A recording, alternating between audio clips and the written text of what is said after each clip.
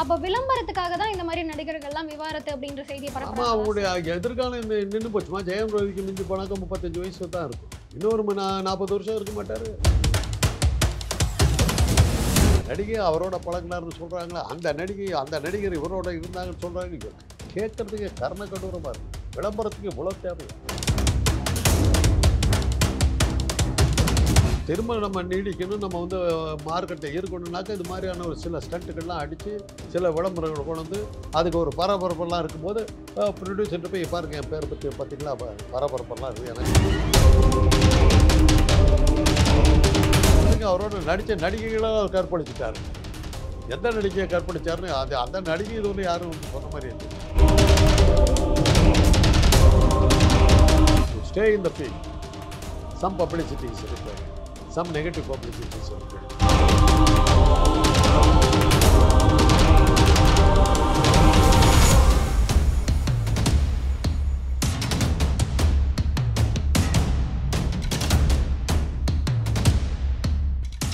Yellow Pens நேயர்களுக்கு வணக்கம். இன்னைக்கு நம்ம கூட டாக்டர் காந்தராஜ் அவர்கள் தான் இருக்காங்க. அவங்க கூட தான் பேச போறோம். வணக்கம் சார் சார் இப்போ சினிமா பிரபலங்கள் தொடர்ந்து நிறைய பேர் விவாகரத்து பண்ணிட்டே இருக்காங்க. இப்போ தனுஷ் அவர்களா இருக்கட்டும் ஜிவி பிரகாஷா இருக்கட்டும் இவங்க வரிசையில ஜெயம் ரவி அவர்களுக்கும் அவங்க மனைவிக்கும் இடையில கூட விவாகரத்து நடக்க போகுது இப்படின்ற மாதிரி கூட ஒரு செய்தி பரவிட்டு இருக்கு சார். இதுல எந்த அளவுக்கு சார் உண்மை இருக்கு? இருக்கலாம் ஏன் இருக்கக்கூடாது? இதே காரணம் தான் ஒரு வேற என்ன காரணம் இருக்குது? அப்போ யாருக்கும் படம் இல்லை. நீங்களா செய்தி இப்போ சில படங்கள் போட்டு தனுஷ் நடிக்கும்னு போட்டிருக்கீங்க அது வருதா வரப்போதா இல்லையான்னு யாருக்கு தெரியும்? இவர் நடிக்க இந்த படம் படப்பிடிப்பு வேகமாக நடக்கிறதுன்னு செய்தியெல்லாம் போட்டிருக்கீங்க. படம் வருஷக்கணக்காக எடுத்துக்கிட்டு இருக்கிறாங்க. ஒரு அந்த காலத்தில் தான் வருஷக்கணக்காக எடுத்துகிட்டு இருந்தாங்க. இப்போலாம் வந்து ஆறு மாதத்தில் படம் வந்துடும் இன்றைக்கி பார்த்தா மறுபடியும் எடுத்துக்கிட்டு இருக்காங்க எடுத்துக்கிட்டு இருக்காங்க. எனக்கு தெரிஞ்ச இந்த இந்தியனுங்கிற படம் நான் சின்ன பையன்லேருந்து பா பார்த்துக்கிட்டு இருக்கேன் விளம்பரம் நானே கிளம்பிட்டேன். இந்தியன் டூ இப்போ வந்து கமலஹாசனுக்கு அதில் மேக்கப்போ போட வேண்டியதில் ஸ்ட்ரெயிட்டாக அந்த கிழவனை வந்துட்டாருன்றாங்க. அந்த அளவுக்கு ஆகிப்போச்சு அதனால் இது இது இந்த ஜெயம் ரவி வந்து படங்கள் இல்லை. சரி அப்புறம் என்ன பண்ணுறது ஒரு செய்தி வேணும். இப்போ எப்படி இந்த வரலட்சுமி கல்யாணம் மாதிரி தான்? ஒரு செய்தி வேணும் டைவர்ஸு அதே மாதிரி தனுஷுக்கு டைவர்ஸு ஜிவி பிரகாஷ் யார் அவர்? அவர் தெரியல. Music director sir. அவர் அவர் அவர் வந்து சினிமாவில் நடிக்கிறாரா? ஆ சினிமால படங்களும் பண்ணிட்டு இருக்காரு இசையமைச்சுட்டு இருக்காரு. அவ்வளோதான் அவருக்கு கஷ்டகாலம் எல்லாம் சின்ன பசங்க. இன்னும் முப்பது நாற்பது வருஷம் வாழ்க்கை இருக்குது. இப்போ மார்க்கெட்டு போய் தெ தெருவுக்கு வந்து நின்றுட்டா என்ன பண்ணுறது சினிமாவும் போயிடுச்சு. என்ன பண்ணுறதுன்னு தெரியாத போது இந்த மாதிரி விளம்பரம்லாம் கொடுத்து வாழ்க்கையை சீர்படுத்திக்கிறதுக்காக கொடுக்குற விளம்பரம் தான். இதெல்லாம் நம்ம வந்து சீரியஸாக எடுத்துக்க வேண்டியது அப்ப விளம்பரத்துக்காக தான் இந்த மாதிரி நடிகர்கள்லாம் விவாகரத்து அப்படின்ற செய்தியை ஆமாம் பரப்புறாங்க அவங்களுடைய எதிர்காலம் இந்த நின்று போச்சுமா? ஜெயம் ரவிக்கு மிஞ்சி போனாக்கா முப்பத்தஞ்சு வயசு தான் இருக்கும். இன்னொரு நாற்பது வருஷம் இருக்க மாட்டார். எழுபத்தஞ்சு வயசுல இருக்க மாட்டார். அந்த நாற்பது வருஷத்துக்கு என்ன பண்ணுவீங்க? இந்த தொழில் போயிடுச்சு. கட்டி கொடுத்த சோறும் சொல்லி கொடுத்த சொல்லும் காத வழி காணாதும்பாங்க. இது மாதிரி சேர்த்து வச்ச பணம் எவ்வளோ நாளைக்கு வரும்? வருமானத்துக்கு என்ன பண்ண போகிறீங்க நீங்கள் ஏதாவது வேறு ஏதாவது தொழில் வச்சுருக்கீங்களா? உங்களுக்கு ஒன்றுமே ஒரு தொழிலும் தெரியாது. தெரியாத தொழில் எதுவும் தெரியாதுன்னும் போது சினிமா போயிடுச்சு. வாழ்க்கைக்கு என்ன பண்ணுவீங்க? அதனால் இந்த திரும்ப நம்ம நீடிக்கணும் நம்ம வந்து மார்க்கெட்டை இருக்கணும்னாக்கா இது மாதிரியான ஒரு சில ஸ்டண்ட்டுகள்லாம் அடித்து சில விளம்பரங்களை கொண்டு வந்து அதுக்கு ஒரு பரபரப்பெல்லாம் இருக்கும்போது ப்ரொடியூசர்கிட்ட போய் பாருங்க என் பேர் பற்றி பார்த்தீங்களா பரபரப்பெல்லாம் இருக்குது எனக்கு ரசிகர்கள்லாம் நிறைய இருக்காங்க ஒரு படம் எடுங்க அப்படின்னு சொல்லி கேட்க முடியும். அதுக்காகத்தான் இவ்வளோ பண்ணுறேன் ஆனால் சிலர் என்ன சொல்கிறாங்க அப்படின்னா அவங்க மாமியாரே வந்து ஜெயம் ரவி அவர்களுடைய மாமியார் வந்து இவருக்கு படம் எதுவும் ரீசெண்டாக அமையாததால அவரை வச்சு ஒரு நாலஞ்சு படம் ப்ரொடியூஸ் பண்ணாங்க. ஒரு நாலு படம் பெருசா போகலனாலும் இப்போ கடைசியா வந்து சைரன் ஓரளவுக்கு சக்ஸஸ் ஆச்சு. அதை தொடர்ந்து இவரை வச்சு அடுத்த படம் ப்ரொடியூஸ் பண்ணலான்னு போகும்போது இவர் அவங்க கிட்டயே வந்து இருபது கோடி சம்பளம் கேட்டாரு. அந்த காரணத்தால தான் இவங்களுக்குள்ள பிரச்சனை வந்து அவங்க மனைவிக்கும் இவருக்கும் இடையில கருத்து வேறுபாடு வந்து பிரிஞ்சுட்டாங்க விவாகரத்து பண்ண போறாங்க அப்படின்ற மாதிரி கூட சொல்லிட்டு இருக்காங்க ஏன்னா ஜெயம் ரவி வந்து சினிமா பின்னணியில் குடும்பத்தில் பிறந்தவர் தான். அவங்க அப்பா வந்து எடிட்டர் மோகன் ரொம்ப ஃபேமஸ் நிறைய ப்ரொடியூசர் படமெல்லாம் ப்ரொடியூஸ் பண்ணி. அவர் சில பேர் வந்து பெரிய படங்கள்லாம் எடுத்து கொடுக்குறேன்னு சொல்லி தான் அவர் வந்தார். அதுவும் எனக்கு தெரியும். ஒரு பிரபல செல்வாக்குள்ள ஒரு குடும்பத்திலேருந்து பெரும்படம் அவருக்கு ஃபைனான்ஸ் ஆகி தான் அவர் படங்கள்லாம் எடுத்து அதில் தான் பெருசாக வந்தார். அவங்க வீட்டு பெண்ணை தான் அவர் கட்டிக்கிட்டார். பெரிய குடும்பம் அவங்க. அந்த பொண்ணு பெரிய குடும்பத்தை சேர்ந்த பொண்ணு. இது இன்னைக்கு வந்து ஒரு மறுபடியும் நமக்கு மார்க்கெட் இருக்குங்கிறத காட்டுறதுக்காக இது பரபரப்பு செய்தி. அதான் முதல்லே சொன்னேன். அந்த பரபரப்பு இது என்னுடைய செய்திகள்லாம் வந்து மீடியாக்களில் பெருசாக அடிபடுது அப்படின்னும் போது எனக்கு செல்வாக்கு இருக்குது அப்படிங்கிறத காட்டுறதுக்காக இந்த மாதிரி ஒரு செய்தியை பாசிட்டிவ் செய்தி போட்டால் யார் படிப்பா? ஜெயம் ரவி எனக்கு ஐந்து படங்கள் இருக்குன்னு எவனும் படிக்க மாட்டான். ஜெயம் ரவி ப ஐந்து படங்கள் நீக்கப்பட்டார்னா அது செய்தி. அது மாதிரி ஒரு நெகட்டிவ் செய்தி போட்டு விளம்பரம் தேடி எல்லாம் ஒரே காரணம் தான். என்ன இன்னும் நாற்பது வருஷம் உங்களுக்கு வாழ்க்கை இருக்குது குறைஞ்சபட்சம். தொழிலே போயிட்டதுக்கப்புறம் அந்த நாற்பது வருஷம் சும்மா உட்காந்துக்கிட்டு இருக்க ஏதாவது ஒரு வகையில் எப்படியா உள்ள நுழையிறதுக்கு பார்க்குறாங்க ஏன்னா விளம்பரத்திலேயே வாழ்ந்தவங்க. பேர் ஆளே இல்லைன்னு இப்போ என்னையே எடுத்துங்களேன். யூடியூப்பில் டெய்லி வந்துக்கிட்டு இருக்குது. ஒரு நாள் யாரும் வரலன்னு அன்றைக்கி அன்றைக்கி ஒரு மாதிரி கை கால்லாம் ஆட ஆரம்பிச்சிருச்சு. அந்த பு பு- புகழ் போதைக்கு நான் அடிமை ஆக ஆரம்பிச்சேன். நல்லா தெரியுது எனக்கு. இந்த மாதிரி அட்ரஸ் இல்லாத எனக்கே அந்த போதை வருதுன்னா தினசரி பத்திரிகைகள் அடிபட்டு இருந்த ஒரு ஆள் தன்னுடைய பேர் வரலன்னு எப்படி இது பண்ணுவாங்க? யோசிச்சுப்பார் அது புகழ் போதைக்கு அடிமையிட்டால் அது வந்து வெளியே வரது அவ்வளோ சொல்ல அதனால தான் பார்த்தீங்கன்னா ஒரே கதை தான். இப்போ நீங்கள் கேட்டால் அத்தனை பேத்துக்கும் ஒரே கதை தான்.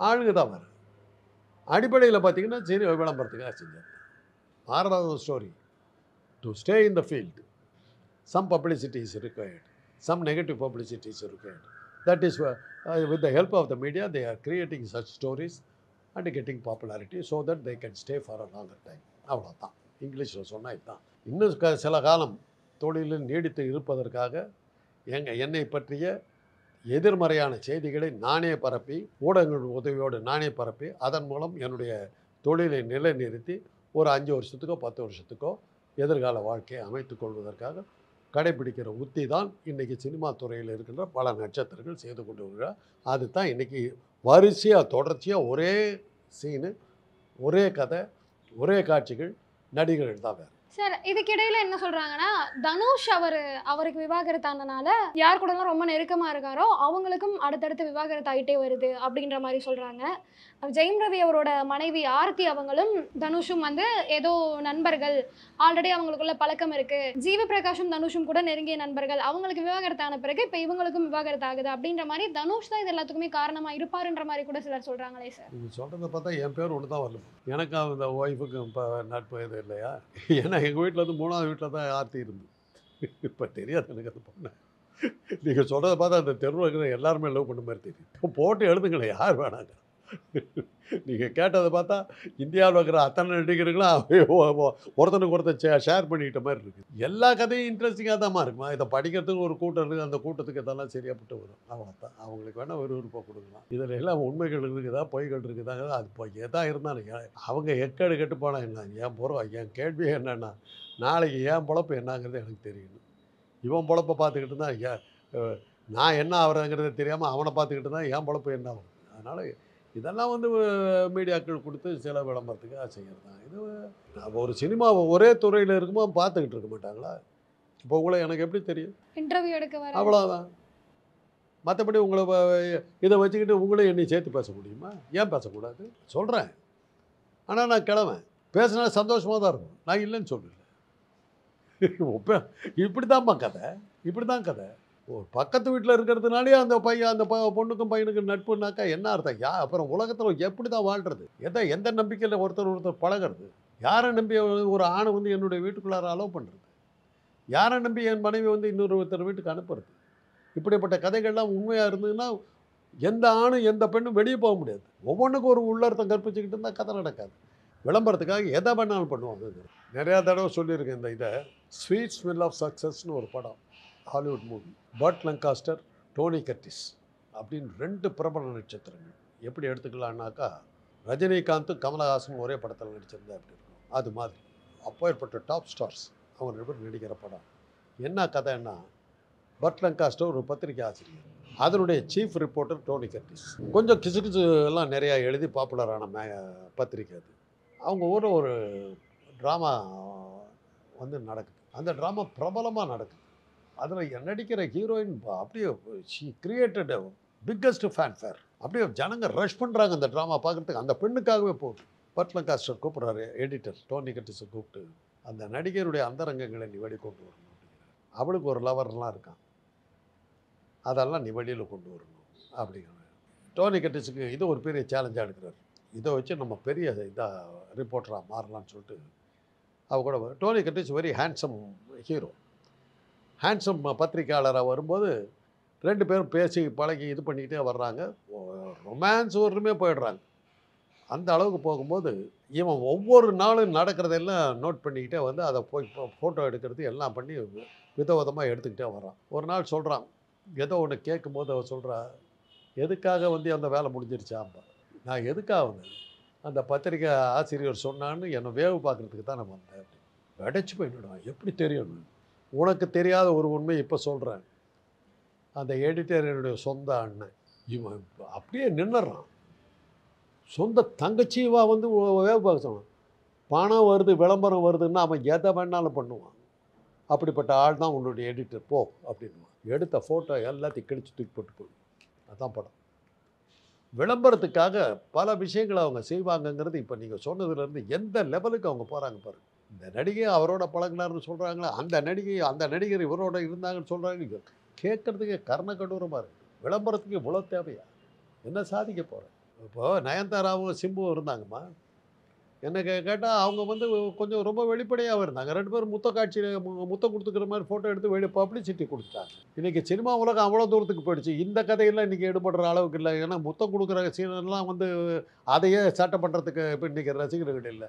இந்த மாதிரி கதைகளை வச்சுக்கிட்டு இப்போ விளம்பரம் கிடைக்க முடியாதுங்கிறது அந்த ஜி பிரகாஷ் தனுஷ் ஆர்த்தி ஜெயம் ரவி இவங்களுக்கெல்லாம் சொல்லுங்கள் இதையெல்லாம் தாண்டி தமிழ் பட உலகம் எங்கேயோ போயிடுச்சு.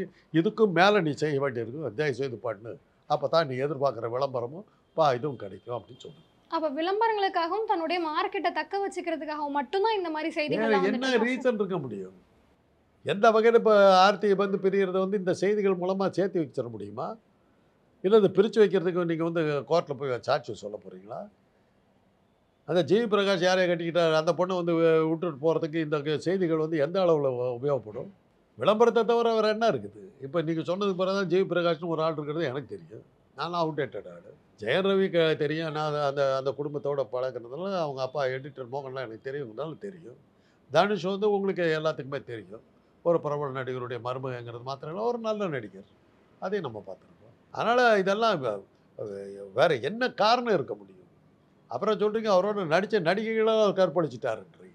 எந்த நடிகையை கற்பழிச்சாருன்னு அந்த அந்த நடிகை இதுவரை யாரும் வந்து சொன்ன மாதிரியே தெரியும். அவருடைய படங்கள்லாம் கொஞ்சம் ஒரு மாதிரி படங்கள். ஆரம்பத்தில் தனுஷனுடைய படங்கள்லாம் ஒரு மாதிரி தான். தனுஷ் படங்களும் சரி விஜய் படங்களும் சரி ஆரம்பத்த காலத்து படங்கள்லாம் ஒரு மாதிரியான படங்கள். அப்போ வராத கதையெல்லாம் இப்போ வந்தால் என்ன அர்த்தம்? இப்ப அவங்க கொஞ்சம் பிரபலமாயிட்டு வராங்க. பிரபலமானதுனால தான் அதை வச்சு கா இந்த மாதிரி ஒரு செய்திகள் போட்டால் அன்னைக்கு அதை சொல்லியிருந்தா எடுபட்டு இருக்க மாட்டாங்க. இன்னைக்கு அதை சொல்லும்போது எடுபடலாம்னு நினச்சி அவங்களும் ஃப்ளோட் பண்ணுறாங்க கதைகளை. நீங்களும் குவைக்கிறீங்க நானும் பதில் சொல்கிறேன் இந்த விளம்பரம் இன்னைக்கு எடுபடாது.